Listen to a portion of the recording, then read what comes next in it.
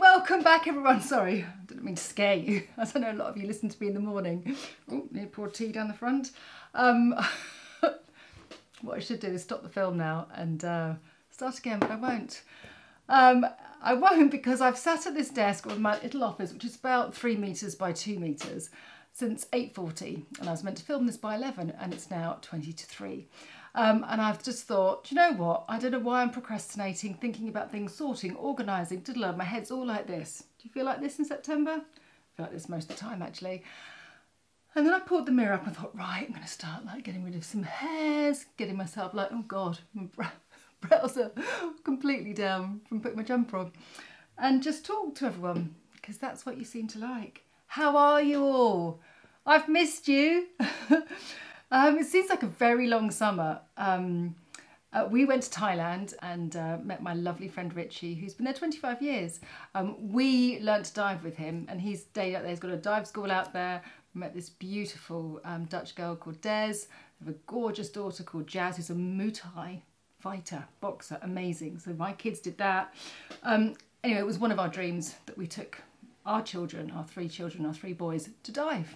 And there we were, underneath the water. It was very special. Um, so yeah, that was really nice. And um, I've got lots to say, but maybe I should just start doing something with my face to entertain you because that's clearly why you've come on, uh, not to actually listen to my life. Uh, right, first of all, I'm going to do a little brow, which is hilarious because when I did this before I went to Thailand, I do it so haphazardly. I use the same product. You've probably seen me use these before if you've been a long time viewer. Um, these are just professional products that I picked up from the professional beauty store. Um, nothing particular. I just like the light brown. If I'm dyeing someone's eyebrows back and I don't have this to hand, um, I use the men's hair colouring in light brown. Um, what's it called? Go to Go for Men or men's men's hair colouring. Um, just for men, that's it if you're in the UK. Um, so I just put like a little squidge just in this lid here, chuck on some developer. But I did that classic thing, right, where I um, answered an email and left them on for about five minutes. So they were quite dark. And I actually did like it, but no, we're going to be really careful. So I'll just chat away for two minutes. So I mix it up with a spoolie. And I do this in sort of two ways. And fact, a friend of mine I was talking to the other day, She's a lot younger than me and she's got great brows. She actually dyes her brows every single week just to dye the skin. She's got good brows though, but it really does make a difference. Um, just sort of kind of getting that depth of your brow. So yeah, really haphazard. I mean, don't follow me for great tutorials on this, but I start with um, just taking off the excess and I don't touch the skin, but I just put it on the hairs going backwards. I apologise, we've having, um, our neighbours are having a loft put in, so that's going to be a few months of sawing metal. Yeah, chainsawing bare metal on a Saturday morning is really nice, right? Why can't they do that in the afternoon? Builders always seem to be so noisy um, in the mornings. I don't mind during the week, but you know. I'm just painting this on, just on the top, and then I will go in with a brush to get the tails. Um, but just to kind of make the mornings just a little bit easier and those days where you literally can't be bothered to put anything on, um, just tinting your brows makes all the difference if you need to, because obviously some of you might have gorgeous dark brows, which I envy. Turn this brush around, sculpted by Aimee Brush, nice double-ended one. I'm sure Aimee won't mind. And then I just do like a little sort of imprint of a tail. Now this won't be like it looks. It will be a very, well I'll show you in a minute because I'll take it off. Um, but I just like a very sort of soft effect because my brows are naturally and always have been like really high, very spocky. Um, so I have to sort of pull them down. So I do like a little tint just at the bottom and then put this on. And then I'm going to do a little bit. I love my magic razors from Votary. Um, actually, I must get one of her hyaluronic serums. They're amazing um, for the dry skin to come, guys. How is your skin post-summer? There's always a few little tricks, good masks, good exfoliants, but if you want me to do a dedicated film on just kind of really rebooting and maintaining the hydration in your skin after the holidays, that's if you have had lots of sun exposure, um, let me know. So I'm going to do a little bit of the root here, very, very softly. Um, Let's hope I don't forget filming this real time. Now I'm just pushing this in a little bit more onto the skin. As you can see, I haven't put any, um, sometimes you put a, a Vaseline um, around the eyebrows so you don't get any kind of like random staining, but of course I haven't done that. Um, I would do it if I was doing it on someone else, mind you, but just not on myself, just because it's, sometimes these quick little beauty tricks just need to be quick. So put the lid on, otherwise that will go down, and I will get a little cotton pad, one sec.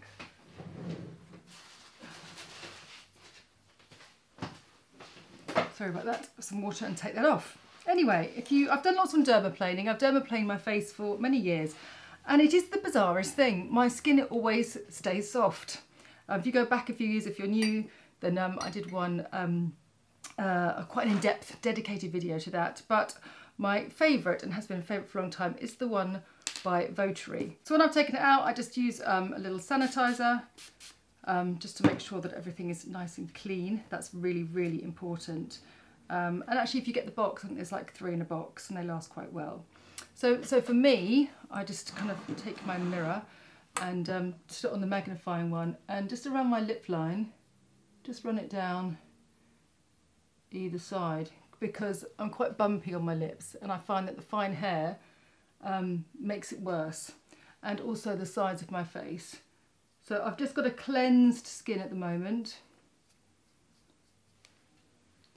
and then I put a nice softening treatment on afterwards.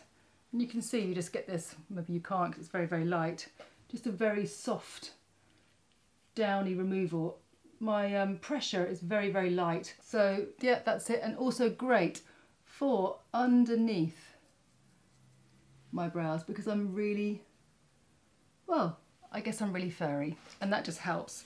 So again, just use a sanitizing spray, clean, and then put the lid on so it doesn't sit and get dusty and I just leave that in my pot and I do that sort of whenever I feel like it once a month.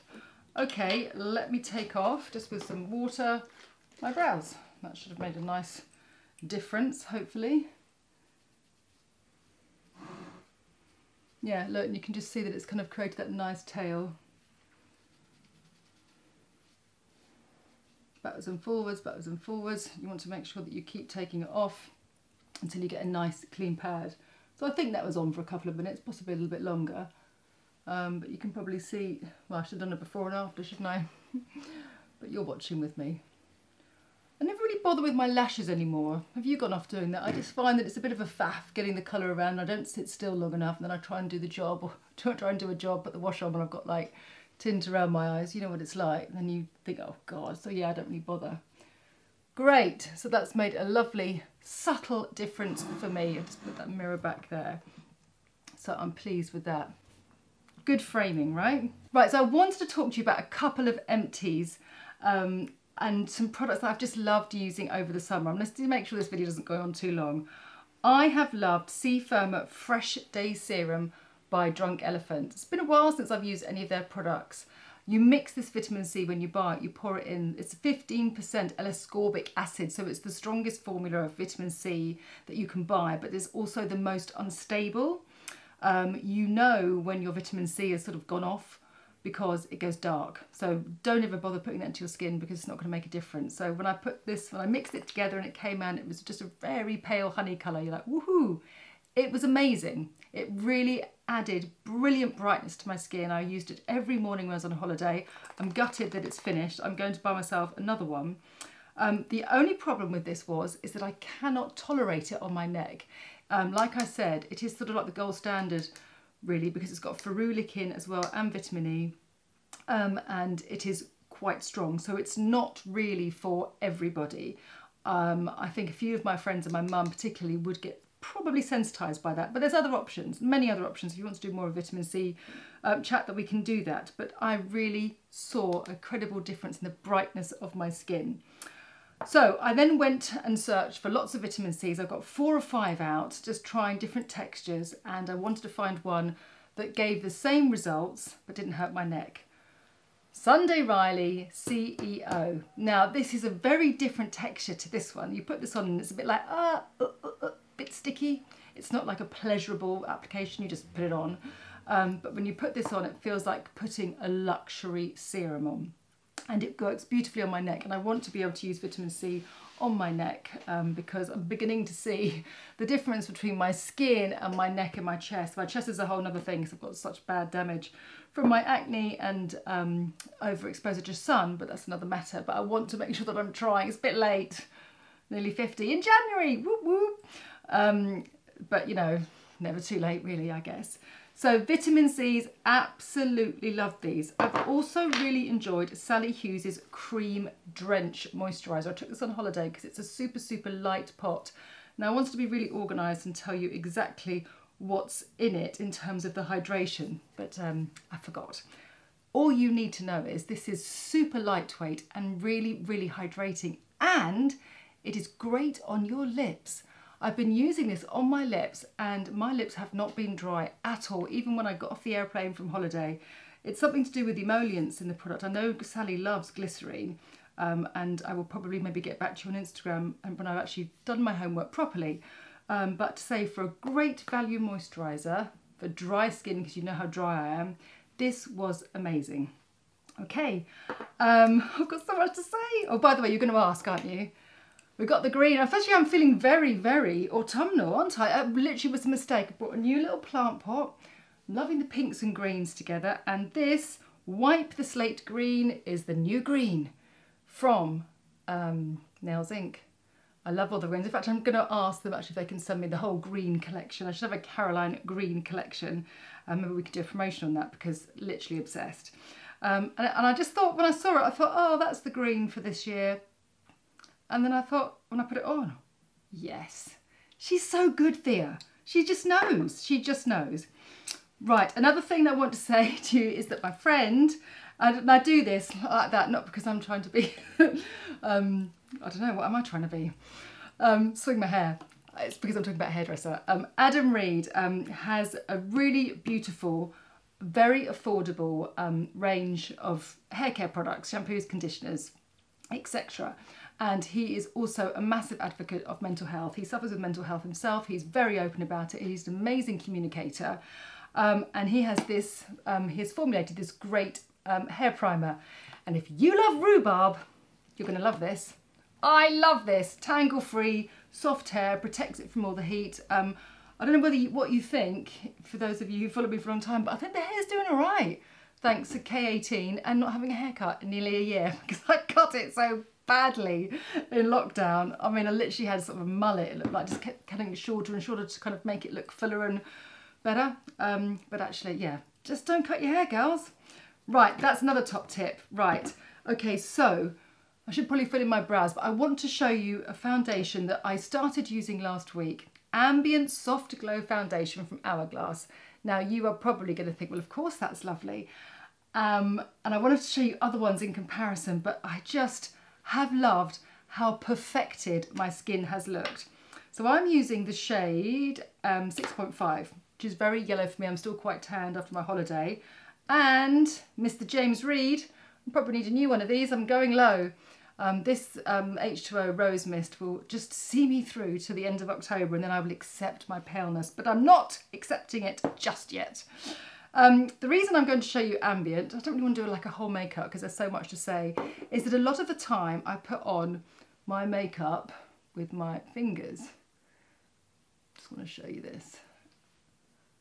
This is a foundation that you really, well, I suppose you can put it on with your fingers, but I think for most people will be quite scared to put it on with their fingers. Um, and I don't think from an, an unexperienced makeup lover, Oh, I didn't put any moisturiser on. Never mind. Anyway, um, from an unexperienced, I mean, you call me a professional, gee whiz, sorry, sorry, sorry guys, really tuned into the wrong person here.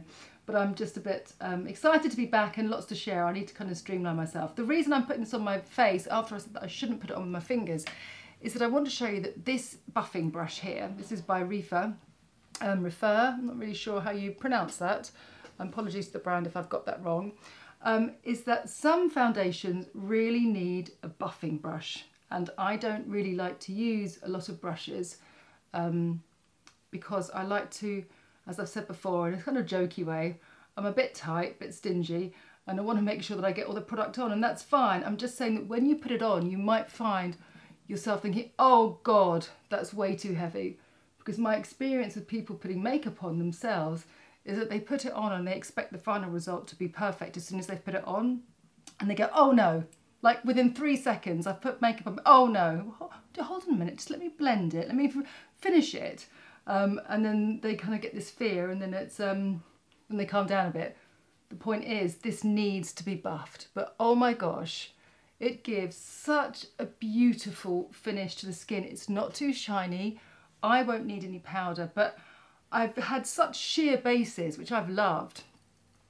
Look, you see, you've got to be careful. I nicked myself very, very slightly there. Um, that's annoying. That is literally the first time I've done that in a long time. Well, I just have to make it into a little mole. Put some brown eyeliner over the top. Never mind. Maybe I shouldn't post this film, I don't know. Um, anyway, so I use one pump and you can see how extensive this is now, right? How I'm getting so much coverage from this foundation with only the smallest amount because where my pigmentation is like all around here and where I need a little bit of extra coverage, so my little friend here, I like to place the colour on that. I haven't done anything around my eyes, obviously. Um, and then use the buffing brush to really push it in. And this just really helps the product migrate with your skin. You know, even though I haven't even got the perfect base, my skin, my skin is quite hydrated at the moment. Um, so luckily I managed to get a good slip on it and it's quite warm. Otherwise that would have been a disaster. Can you see how nice that is? Right, just to finish off, uh, just because I don't like to have my eyes not done, because it makes them look small, as I'm sure many of you know, when you do your own makeup, sometimes it actually can make your eyes shrink a little bit more in terms of the size. So I'll just use a little bit of the Laura Mercier concealer, just for a lighter shade, just in there and in there. And then I can get on with the rest of the makeup. It's going to be very kind of like clean, natural makeup, just sort of talking about different products. I find this time really exciting for makeup. Um, I feel that I've just been kind of living my coral watermelon bronzy golden dreams with a bit of a random red lip this summer, orangey red, OVS. Um, and it's actually quite nice to embrace more perfected skin. Oh, this base is so nice. Um, and kind of experiment more with colour. Now, because my lips are so bumpy and if you've got any fine lines on your forehead, on your cheeks, or mine really annoy me over my lips. By the way, I've had a little treatment called Sofwave, which takes about three months to develop. Um, and my skin should feel and look a lot firmer. So I'm having, I'm hoping that that's going to happen with um, my neck and uh, around my mouth, but I'll let you know. And you will of course see. Too early to tell just yet. Right, now, the best the best brow pencil, as you know, as I've talked about many times before, is Brow Blade. Um, so I'm going to fill in my tail with the, this is called On Taupe, I think. Oh, got a little visitor. One moment. Oh. Actually, I've just bought myself a little pale pink lampshade. You know, I was going about the greens and the my passion of um, soft pinks and greens at the moment. I just uh, treated myself to a little pink lampshade because I've got like a greeny wallpaper in the kitchen. Um, anyway, by the by. Uh, so yes, I use the kohl pencil just to fill in. You can see how much easier it is for me now. I've just got my little tint on my brows and I'm not going as dark as the brow because otherwise that would be too much. And then turn it around and use the ink and at work, I'm always using these just to fill in people's brows, especially when you're doing sort of like close-up beauty, um, where you've got a big, big lens analysing every detail of someone's brow. These are just great for that intricate single hair application.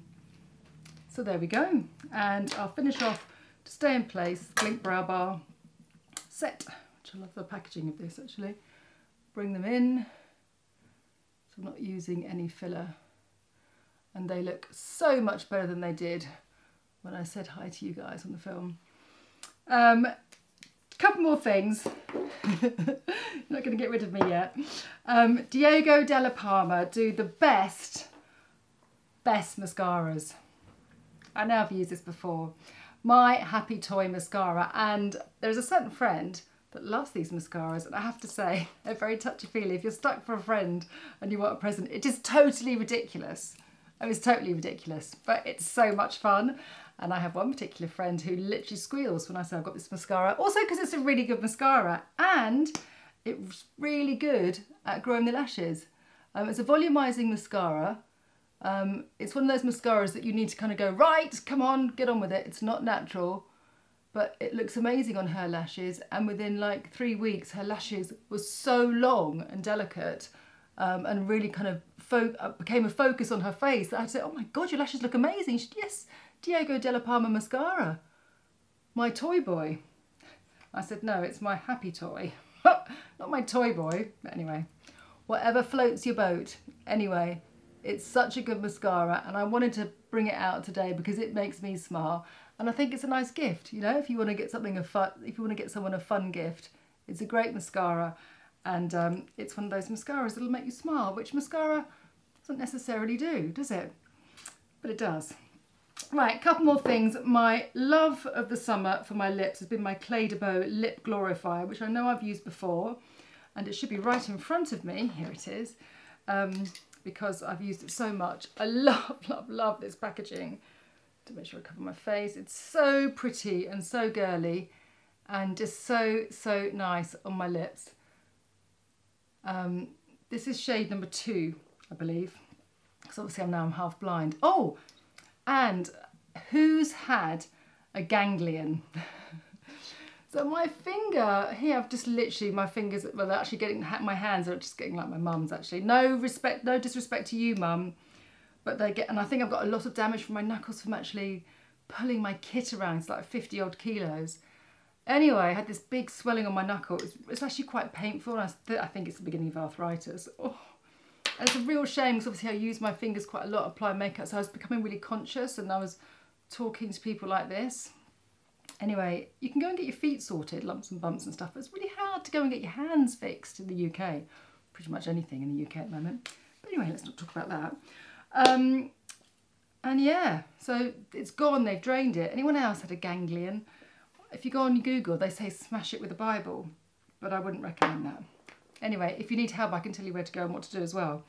Right, blush, just to finish off, and couple of other things too. Um, infused cream blush, this is Sunlit Coral. This is new from Max Factor. They've got some new blushes, Karen, I want to show you. I was like, oh great. Picked up Sunlit Coral, shock. Put it on my hand, and I was like, okay, that looks really nice. And then I blended it out, and I was like, ooh, not really sure about that. It's sort of slightly metallic-y. Not really sure that looks very modern. I was wrong. Look at this. Really, really sheer. Sits beautifully into the skin. And that sort of metallicness that kind of put me off when I first looked at it just gives this lovely radiance to the skin. Just a little bit on my nose, just on the bridge. Um, it is so nice and especially over a nice base like this hourglass one. It has lasted and lasted. And um, I've actually been really chuffed with myself, which is not something that I say very often. And I mean not chuffed with myself, but I've been to lunch with some friends or working or whatever. And you know when you sort of catch yourself in the mirror and you just think, oh God, I need to do my makeup again or whatever. I've gone, oh, I look all right, sort of quite put together. And um, this combination of the uh, blush and base, nice lip and my um, mascara has um, kept me happy. Anyway, I think that's probably enough drivel for now. I hope it's not drivel. Um, so yeah, pretty much cut my face, poured something down my top, left my brows on nearly too long. Anyway, it's great to be back and please, I've got a whole host of things that I'm shifting through and I kind of, oh God, I would just love to be able to have a chat. That's what I'd love. I'd love to be able to just have a live chat. Maybe we should do that at 9 o'clock in the morning. And I always say this, but not everyone watches at 9 o'clock in the morning. Maybe we can just record it just to have a chin wag because you're all such a great bunch. I hope you've managed to have a little bit of a, a break over summer and um, kind of feel ready steady for the next kind of section of the year. It feels more like a restart than it does in January, weirdly. January, I'm like clawing myself into January, but September, I'm like, whoop, whoop. anyway, thanks very much. Love to you all. See you next week.